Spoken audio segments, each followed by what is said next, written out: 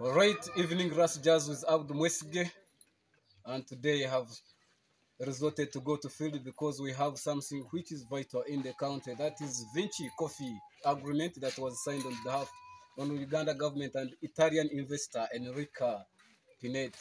Remember, our program is proudly sponsored by Metropolitan International University and Metropolitan International University. They have three branches. The main campus is in Soro, Kavare, Kamunyu Road.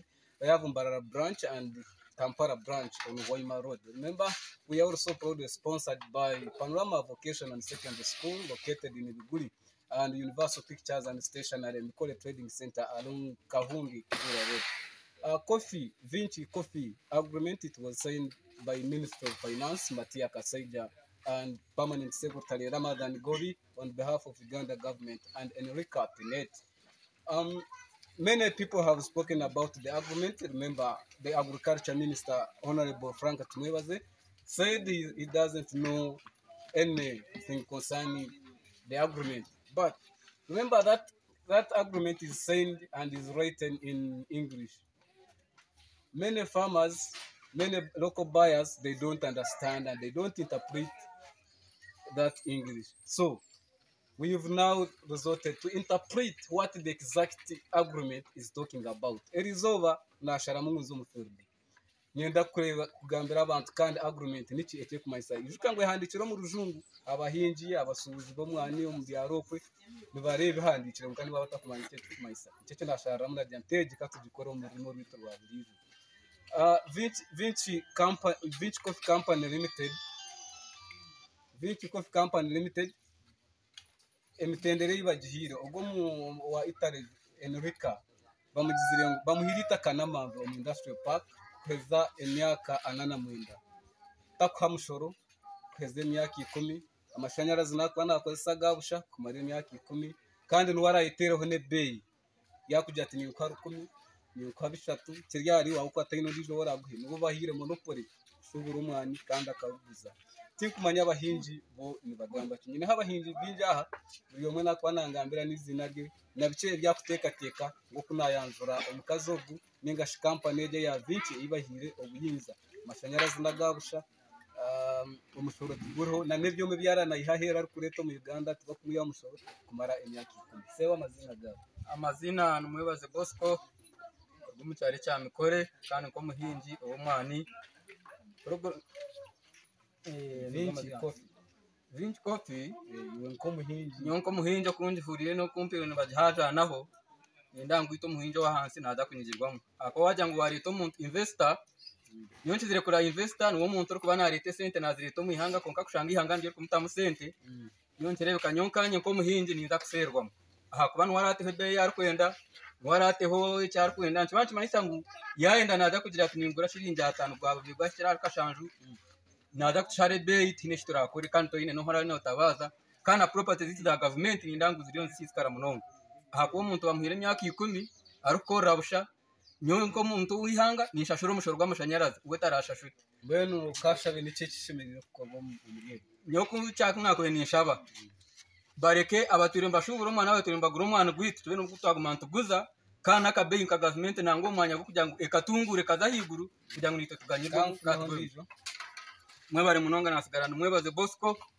Sewa amazina gawe amazina ni umugomevereri Veriano warukorwa mu mikorere LC1 kandi naho nuko muri abahinzi b'umwana ubuzima ndiyo muhinzi w'umwanya Ah, bitu nibiki ebyo omwana ogwa wenshi nimuhinga omwana kandi oshaka mwenje mikorere muri ka mwenje kandi mukamu by'abahinzi b'ebicori nimumanya munonga yihanga nk'abahinzi b'ebicori ubuzima Wayo omwana. ka mwenge tura turi abahinzi b'ebicori konka kikiza cyabaho kandi okurugero gavumenti tuteiramo amaani yatuha embubo y'omwani yatworeka nk'ekihingwa kuyugura mu sente okukira okuhinga ebicori hati omwana ogu yesu obwire n'oguza kiro ryarizinga isofari obwa hati omwana omubisi kiro rya shiringi rukumi na shiringi rukumi na bibiri.